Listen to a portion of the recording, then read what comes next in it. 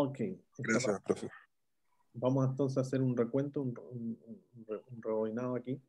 estábamos viendo aquí cómo hacer el cálculo de la nomenclatura y veíamos que había que estar mirando la reacción química y copiando en función de dónde esté presente el componente o el compuesto. En el caso del metano, está perdón, el seno está presente solamente en la reacción 1 y como reactante, por eso es menos R1. Y en el caso del cloro, que se ve de este color distinto, está presente en todas las reacciones y como reactante también. Por eso es menos R1, R2, R3, R4. En el caso contrapuesto tenemos el caso del hidrógeno, del, del ácido clorhídrico, que también está presente en todas las reacciones químicas, pero como producto. Y por eso nos queda R1 más R2 más R3 más R4. Eso es lo que habíamos comentado y que íbamos en el paso número 1. Ahora vamos al paso número 2.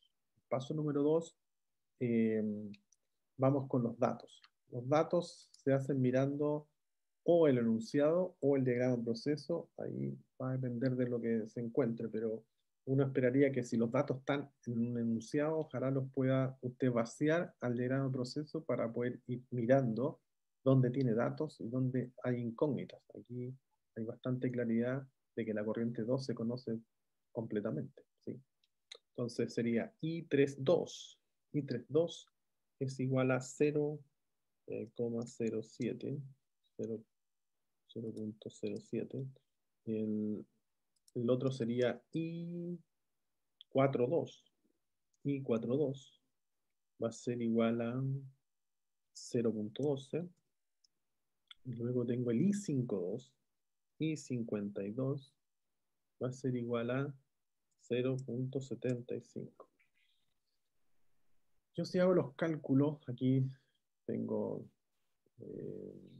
8 eh, más 2 son 20, más sería 95, este debe ser 0,05, ¿vale? El 6, 0,05. Aquí hay que tener cuidado porque uno si llega y pone esto I62, que efectivamente es 0,05, si uno hace la suma tiene que dar 1, no es un dato, ya lo hemos comentado que no es un dato porque yo lo puedo deducir de 1. ¿Y por qué no lo incorporo? El no incorporarlo no significa que no lo voy a ocupar, de hecho lo voy a ocupar. El punto es que al momento de hacer los cálculos de grado de libertad, puedo llegar a un cálculo erróneo porque puedo contar que tengo cinco datos, en realidad son cuatro. Uno, dos, tres y cuatro. El quinto no es dato, porque el quinto lo puedo deducir restando uno del otro. Entonces, ahí, ojo con eso, poner los imprescindibles. Si tiene dos, pone uno. Si tiene tres, pone dos, porque el resto ya se puede deducir, significa entonces que no es dato. ¿Vale?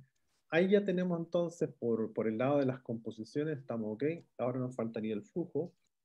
Y aquí también una novedad porque si se dan cuenta, la corriente 1 tiene el componente 1. En este caso es benceno. O sea, puedo llegar y decir que es N11. ¿sí? Desde el punto de vista de lo que hemos aprendido, el primero es el componente y el segundo es la corriente, N11. Y en ese caso, en donde caso particular donde el componente 1 es exclusivo y está solamente ese componente en esa corriente, uno puede llegar a la conclusión que N11 es igual a N1. N11, N11 es igual a N1.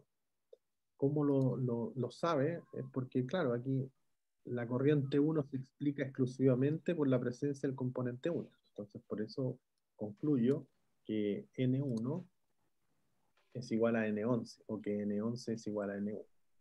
Y en este ejemplo, el dato es que es igual a 1000, vamos a que son kilomol. kilomol. Y como son flujos, finalmente son kilomol hora.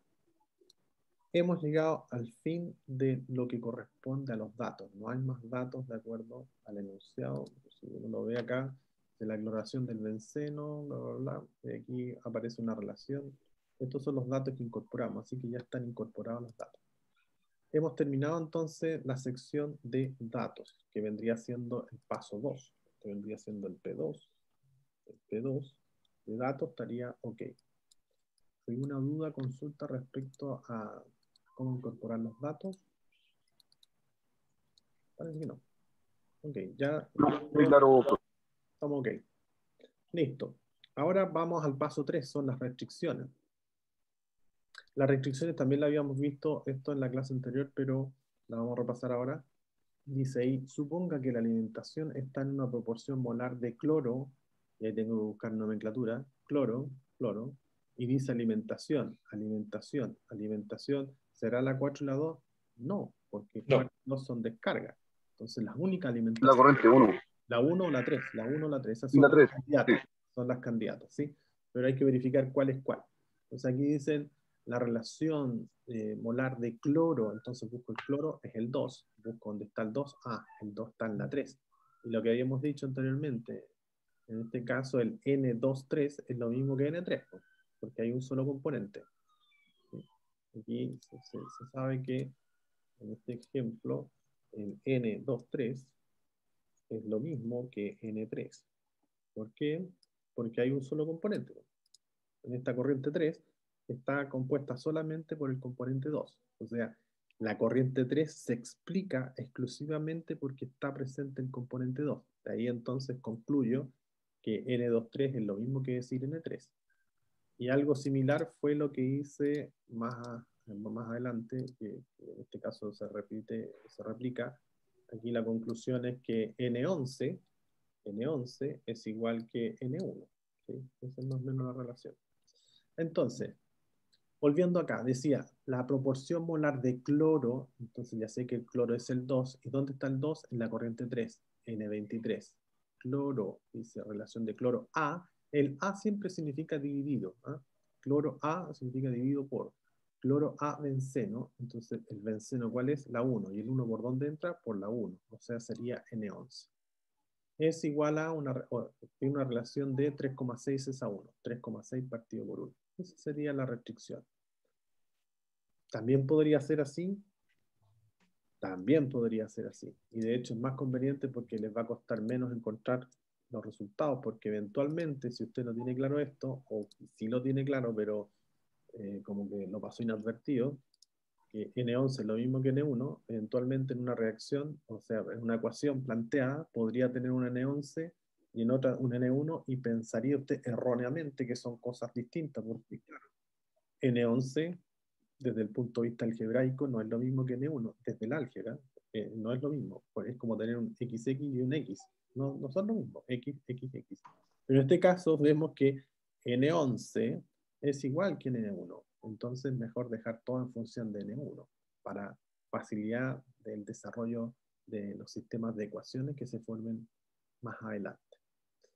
Pero en síntesis, eh, hasta ahí ya logramos entonces resolver lo que son los datos y ahora avanzamos a la siguiente etapa que corresponde eh, los eh, restricciones. ¿sí? Ese era el paso 3, restricciones. Paso 3, restricciones. P3 sería restricciones. Ahí estaría, P3 restricciones. Esa es una. No sé si habrá otra, habría que revisarla. Vamos a chequear si está la otra. Eh, habría que ver el ejercicio. Dice relación 3 a 1. eh, y parece que no hay más. No hay más. Esas son las únicas dos restricciones que. Una restricción, perdón, que. De hecho, no tiene porcentaje de conversión esto. Solamente tiene esa restricción. 3 a 6 a 1. Listo. Hemos llegado entonces al paso 2. Ahora nos vamos al paso 4, que es el cálculo de los grados de libertad. Ese ya estaba hecho. Me parece que estaba eh, aquí. Sí, creo que está aquí. En alguna parte por acá estaba fondeado. Este es. Este lo voy a copiar. Lo voy a llevar hacia abajo para que nos quede claro acá. Aquí. Ahí voy a copiar entonces grados de libertad. Esto lo borro, pues lo podemos ver. Grado de libertad eh, es bueno acompañarse, eso sí, del, de este diagrama para poder hacer los grados de libertad todos juntos. Mirando el, este, el diagrama, el, más que lo- los grados de libertad siempre hay que hacerlos mirando todo lo que hicimos anteriormente, el paso 1, 2, aquí estamos ya en el paso número 3, me parece. Sí, paso número 4.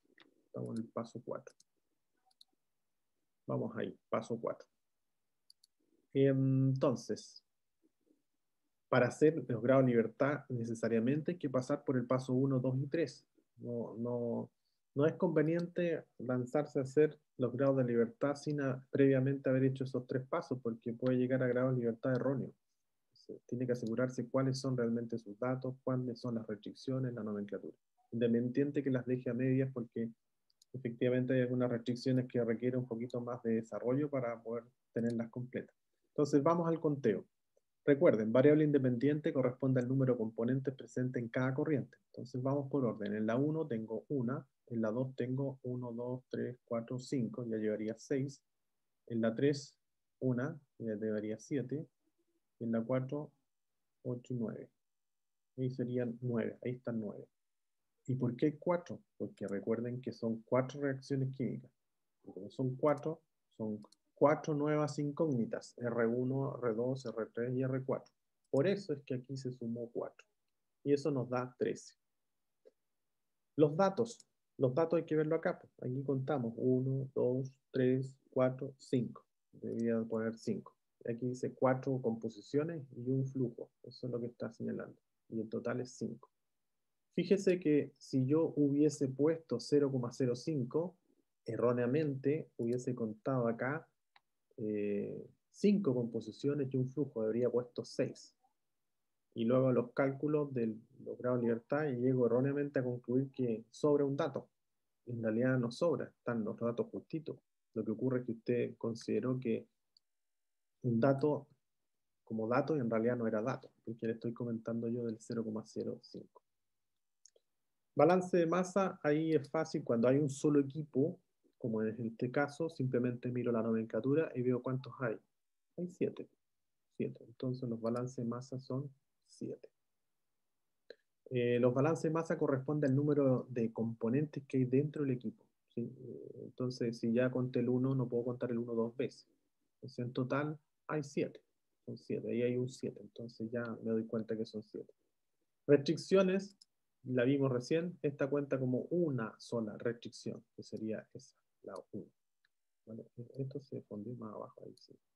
Ahí se Ahí entonces, teníamos una sola restricción. Y eso nos da 5 más 7, 12 más 1, 13, 13 menos 13, 0. ¿Eso qué significa? Que este ejercicio sí se puede resolver. Y es lo que vamos a esperar hacer. Esa es más o menos la idea. Ya, ¿alguna duda o consulta hasta ahí? Lo que corresponde a los grados de libertad. Esto fue un repaso, un repasón de lo que ya vimos en clases anteriores